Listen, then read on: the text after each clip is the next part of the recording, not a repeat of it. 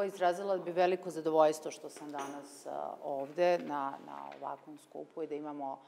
priliku da vodimo dijalog. Uopšte, sposobnost govora i moć održavanja komunikacije je nešto što nas razlikuje od drugih živih bića a, i on jeste osnova svakog napretka i jeste osnova svakog demokratskog društva. Međutim, da bi bio produktivan, reč koju ste vi malo preupotrebili, on mora da bude vođen u određenom smeru sa traženjem ti nekih zajedničkih imenitelja i traženjem zajedničkog rešenja. Nažalost, ne tako redko govor bude upotrebljivan i u druge svrhe, pa imamo i nešto što se zove govor mržnje, nešto što produbljuje jaz. Tako da govor i sposobnost komunikacije jeste moćno oružje u našim rukama koje i tekako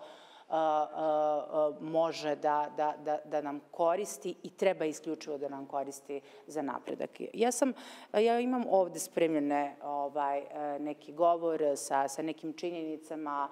šta je sva što uradilo naše ministarstvo i i prethodnih godina, pogotovo prethodnih meseci, od kad sam ja resorni ministar i želela sam to da istaknem šta smo sve uradili u cilju poboljšanja socijalnog dijaloga. Takođe,